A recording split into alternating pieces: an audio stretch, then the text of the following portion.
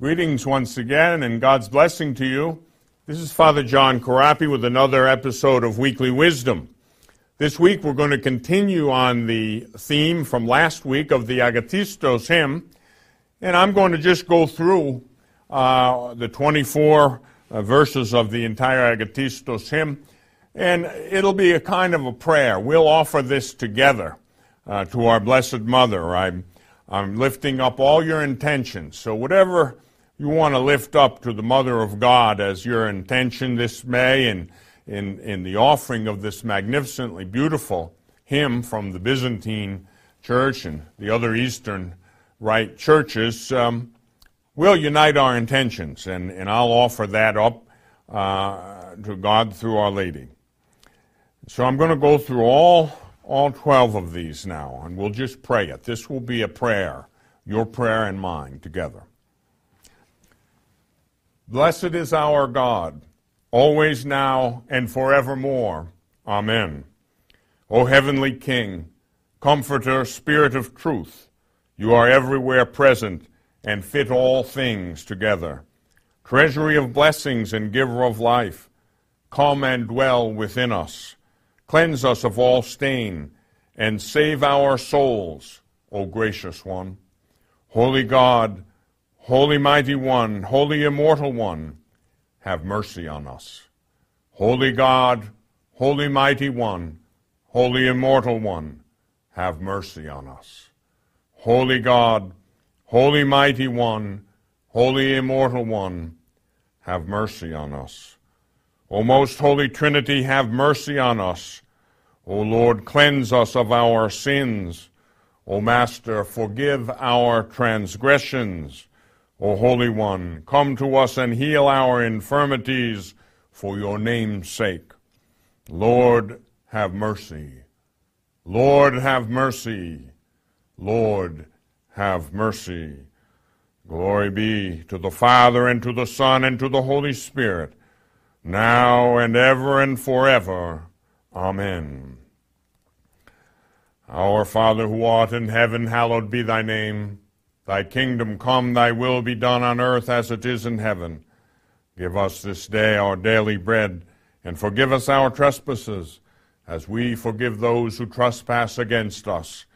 And lead us not into temptation, but deliver us from evil. For thine is the kingdom, and the power, and the glory, Father, Son, and Holy Spirit. Amen. Let us pray to the Lord. As soon as the angel had received his command, he hastened to Joseph's house and said to the ever virgin, Behold, heaven was brought down to earth when the Word himself was fully contained in you. Now that I see him in your womb taking a servant's form, I cry out to you in wonder. Hail, O bride and maiden ever pure. An archangel was sent from heaven to greet the Mother of God. And as he saw you assuming a body at the sound of his bodiless voice, O Lord, he stood rapt in amazement and cried out to her in these words Hail, O you through whom joy will shine forth! Hail, O you through whom the curse will disappear! Hail, O restoration of the fallen Adam! Hail, O redemption of the tears of Eve! Hail, O peak above the reach of human thought. Hail, O depth, even beyond the sight of angels. Hail, O you who have become a kingly throne. Hail, O you who carry him who carries all. Hail, O star, who manifest the sun. Hail, O womb of the divine incarnation. Hail, O you through whom creation is renewed. Hail, O you through whom the Creator becomes a babe. Hail, O bride and maiden, ever pure. Knowing that she was a virgin, the Blessed One courageously answered the angel, Your surprising words seem hard for my mind to accept. How can you speak of a birth that is to come from a conception without seed? And why do you cry, Alleluia. Trying to grasp the meaning of this mystery, the Virgin asked the Holy Mystery, the Virgin asked the Holy Messenger, How is it possible that a son be born from a virginal womb? Tell me. And he answered her with awe, crying out in these words Hail, O hidden sense of the ineffable plan! Hail, O belief in silence that must be! Hail, O forecast of the marvels of Christ! Hail, O fountainhead of truths concerning him! Hail, celestial ladder by whom God came down! Hail, O bridge leading earthly ones to heaven. Hail, O wonder ever thrilling to the angels. Hail, O wound ever hurting to the demons. Hail, O you who gave birth to, birth to light ineffably. Hail, O you who told no one how it was done. Hail, O you who surpassed the wisdom of the wise. Hail, O you who enlighten faithful minds. Hail, O bride and maiden ever pure. When the power of the Most High overshadowed the one who had never known the nuptial bed, her fruitful womb conceived, and she became for all a delicious field for those who wish to reap salvation by singing Hallelujah. Pregnant with God, the Virgin hastened to Elizabeth. Her unborn child rejoiced, immediately knowing her embrace. Bouncing and singing, he cried out to the Mother of God, Hail, O tendril whose bud shall not wilt! Hail, O soil whose fruit shall not perish! Hail, O tender of mankind's loving tender!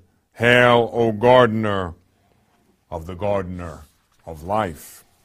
Hail, O earth, who yielded abundant mercies. Hail, O table full laden with appeasement.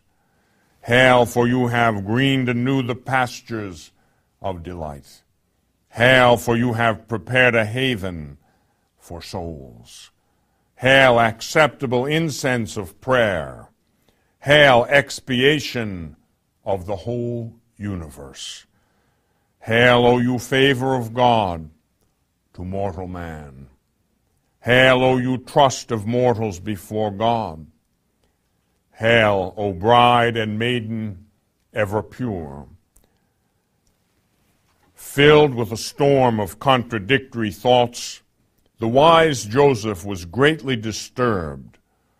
Until then, he had seen you a virgin, and now he suspected you of secret guilt all, all blameless one. Learning that your conception was of the Holy Spirit, he cried out, Alleluia. The shepherds heard the angels singing hymns of praise of the coming of Christ in the flesh. And running to him as to a shepherd, they saw him as a spotless lamb grazing at Mary's breast. They sang a hymn to her and said, Hail, O mother of lamb and shepherd. Hail, O fold of rational sheep. Hail, O protection against unseen foes. Hail, O key to the door of paradise.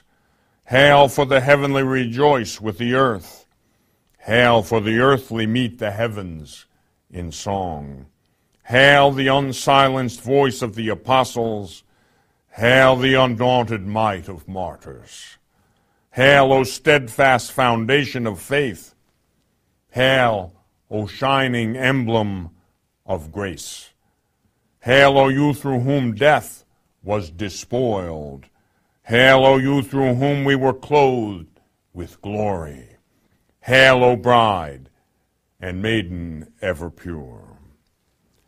When they saw the star moved by God, the Magi followed its glittering light. Using it as a beacon, they found through it the mighty king. And reaching the one beyond all reach, they rejoiced and cried out to him, Alleluia. the sons of Chaldea saw in the virgin's hand the ones whose hands had fashioned men. And acknowledging him as the master, although he had taken the form of a servant, they hastened to honor him with their gifts, and they cried out to the Blessed One Hail, O Mother of the star without setting! Hail, O radiance of the mystical day! Hail, O you who quenched the flame of error. Hail, O light of those who search the Trinity.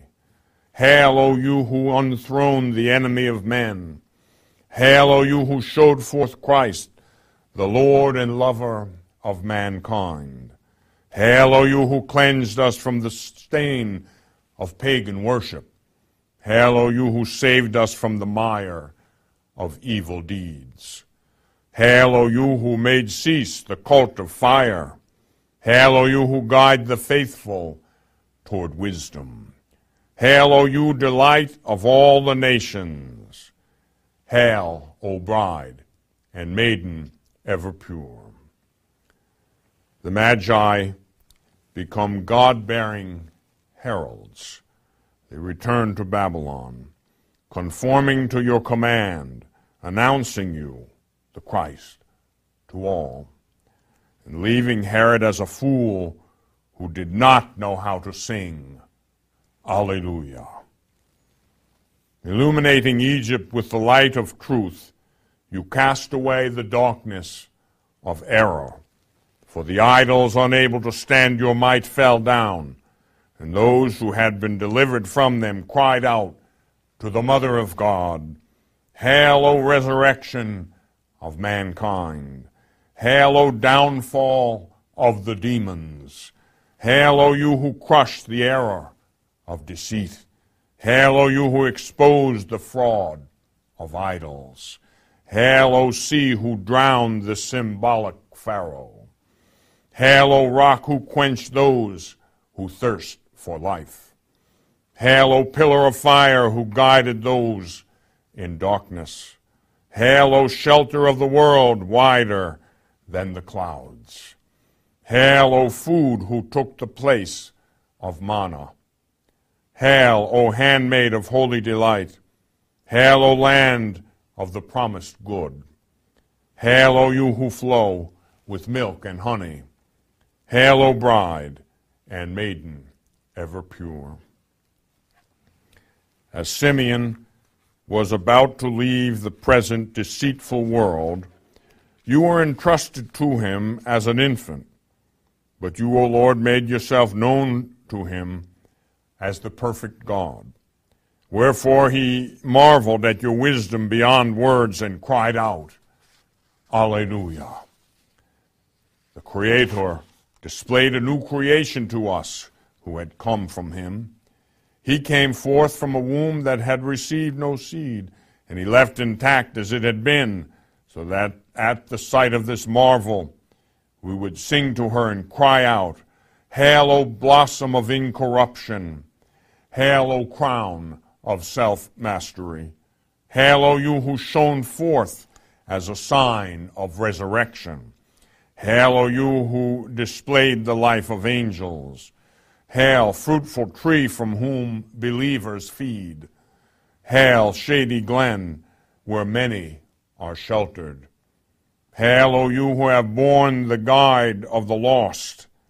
Hail, source of life to the captives' release. Hail, O you who unsettled even the just judge. Hail, indulgence of many who have fallen. Hail, O stone for those who lack freedom to speak. Hail, O tenderness, who exceed all desire. Hail, O bride and maiden, ever pure. Now that we have seen this strange birth, let us estrange ourselves from the world and turn our minds to heaven. Indeed, it is for this that the God Most High appeared on earth as a lowly man desiring to draw up to heaven those who cry out to him, Alleluia. While fully present amid those below, the uncircumscribed word was in no way absent from those above. For what happened was a divine condescension and not a moving from one place to another. And it was a birth from a virgin inspired by God who heard these words Hail, O space of the spaceless God! Hail, O gate of the sublime mystery! Hail, O message unsure to men without faith! Hail, O glory most certain to those who believe! Hail, O sacred chariot of the one above the cherubim! Hail, perfect dwelling of the one above the seraphim! Hail, O you who reconciled opposites! Hail, O you who combined maidenhood and motherhood! Hail, O you through whom paradise was opened! Hail, O key to the kingdom of Christ! Hail, O hope for the angel ages of bliss! Hail, O bride and maiden, ever pure! The whole order of the angels marveled at the great work of your becoming man, O Lord. For they saw the one inaccessible as God become a man accessible to all, living with us and hearing us cry out, Alleluia. O Mother of God, we see the best of speakers become as mute as fish in your regard for they could not explain how you could give birth while remaining a virgin. As for us, while marveling at the mystery, we cry out to you with faith. Hail, O container of God's wisdom. Hail, O treasury of his providence. Hail, O reproof of foolish philosophers. Hail, O confusion of speechless wise men. Hail, for you perplexed the inquisitive minds. Hail, for you dried up the inventors of myths. Hail, for you ripped the Athenians' meshes. Hail, for you filled the fishermen's nets. Hail, O retriever from the abyss of ignorance. Hail, O lamplight of knowledge to many. Hail, O ship for those who seek salvation. Hail, O harbor for the sailors of life. Hail, O bride and maiden ever pure. Desiring to save the world, the Creator of all came down to it of his own will. Being at the same time our shepherd and our God, he appeared among us. And so the like called upon the like and as God he heard. Alleluia. O Virgin Mother of God, you are the strength of virgins and of all those who have recourse to you. For the Maker of heaven and earth covered you with his shadow. O pure one, and he came down to dwell in your womb, and taught us all to cry out to you, Hail, O pillar of virginity! Hail, O gateway of salvation. Hail, O principle of the new creation. Hail, O dispenser of God's bounties. Hail, for you restored those born in shame. Hail, for you gave sense to those who had lost it. Hail, O you who stopped the corrupter of minds. Hail, O you who bore the sower of chastity. Hail, holy chamber of virginal wedlock. Hail, O you who joined the faithful with God. Hail, O gracious foster mother of virgins. Hail, O bridesmaid of holy souls. Hail, O bride and maiden ever pure. Because he wa- wished to grant release from all the ancient debts, the one who pays men's dues, came down himself to those who had spurned his grace. He tore up their obligations and heard from all of them this cry Alleluia! by singing praise of your maternity, we all exalt you as a spiritual temple, O Mother of God. For the one who dwelt with, within your womb, the Lord who holds all things in his hands, sanctified you, glorified you, and taught all men to sing to you. Hail, O tabernacle of God, the Word.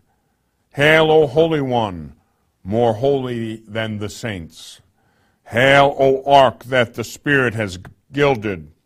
Hail, inexhaustible treasure of life. Hail, precious crown of rightful authorities. Hail, sacred glory of reverend priests. Hail, unshakable tower of the church. Hail, unbreachable wall of the kingdom. Hail, O you through whom the trophies are raised. Hail, O you through whom the enemies are routed. Hail, O heating of my body. Hail, O salvation of my soul. Hail, O bride and maiden, ever pure. O mother, worthy of all praise, you who have given birth to the Word, the holiest of the holy, accept this present offering, deliver all men from every affliction, and save from the future punishment those who cry out to you. Alleluia. Gabriel was rapt in amazement as he beheld your virginity and the splendor of your purity, O Mother of God. And he cried out to you, By what name shall I call you? I am bewildered, I am lost. I shall greet you as I was commanded to do. Hail, O woman full of grace. Glory to you, O Christ, our God and our hope. Glory to you, the Father and the Son and the Holy Spirit, now and forever and ever. Amen. Lord, have mercy. Lord, have mercy. Lord, have mercy. Have mercy on us and save us through the prayers of your most pure mother and of all the holy, glorious, and illustrious apostles through the prayers of all the saints for the gracious one who loves mankind. And so ends the beautiful Akathistos hymn in honor of the Blessed Virgin Mary. It is a, devotion from the Byzantine Church, uh, the various Eastern rites, both Uniate and separated. The Russian Orthodox, the Greek Orthodox, uh, all of these uh, Eastern churches love the Blessed Mother, as we do uh, in, the Latin Rite. Um, that should be enough for us uh, to, to proceed toward unity. You know, it's a great scandal, a really great scandal, that such a division uh, could have existed for more than 10 centuries. Uh, I don't blame one side or the other, as um, Pope John Paul used to say, uh, often enough, uh, both sides were, were at fault. It's the nature of the fallen nature of man um, to bicker, to argue, uh, to easily be divided. But we have so much to unite us. And I believe that the Blessed Mother will be the, the focal point. Uh, she'll lead us uh, to the Eucharist uh, which certainly is something that the Eastern churches uh, love in their own tradition, as, as we do in our tradition. But that's the unifying point the person of Christ Himself uh, made present uh, in the Holy Eucharist, the, the very same sacrifice of Calvary offered in an unbloody manner in the Holy Eucharist. Our Lady will lead us, east and west. She'll lead us to Jesus in the Holy Eucharist. That's what will affect unity. What will affect unity is Christ Himself, the truth. Now remember this there is no unity possible outside of the truth. Unity subsists in truth. Um, it's a false ecumenism that tries to water down the truth uh, in order to effect unity. Uh, the way to effect unity is by presenting the truth in a loving way, undiminished, untarnished, without any distortion or diminution, without destroying it. Uh, the splendor of truth. When we present the truth in a clear way, an unambiguous way, a courageous way, that acts as a unifying force. It is the only way that there will be ultimately unity among the separated churches. The, the closest to us are the Russian Orthodox, the Greek Orthodox. We're very close. We believe almost everything the same. And we really pray uh, for that unity. Um, I, I, consider myself impoverished because uh, we don't have our brothers and sisters from the Orthodox churches uh, in, in, union with us. We need that. And they're impoverished too uh, because uh, they don't have us. It's not either or, it's both. And both are a valid part of the tradition of the church, both the liturgical tradition, theological traditions, devotional tradition. It's all part of the one church. Not either or, it is both. And we have to come to that unity. I think one of the best ways to do it is through the Blessed Mother and through the unity that come, can come through shared devotion. That's why the Holy Father John Paul wanted to have the Akathistos hymn, a hymn from the East, uh, sung on the vigil of the Immaculate Conception in the great Jubilee year of 2000. And it's something we would do, uh, we would do well to remember. So perhaps uh, you will uh, once again pray this Akathistos hymn, um, print a copy of it out, uh, pray it prayerfully, meditatively. Uh, I think it'll help you to enter more deeply into the mystery of the Mother of God. And if you enter more deeply into the mystery of the Theotokos, the God bearer, Mary, then you will surely enter more deeply into the mystery of Christ. And as you enter more deeply into the mystery of Christ, that will bring you more deeply into the Father through the power of the Holy Spirit.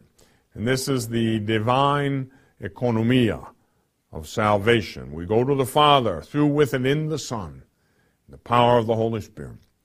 The Akathistos hymn helps us to do this in a devotional way, in a beautiful way. And so we, we pay honor to Mary, our mother, the Mother of God. God bless you. God love you, and goodbye.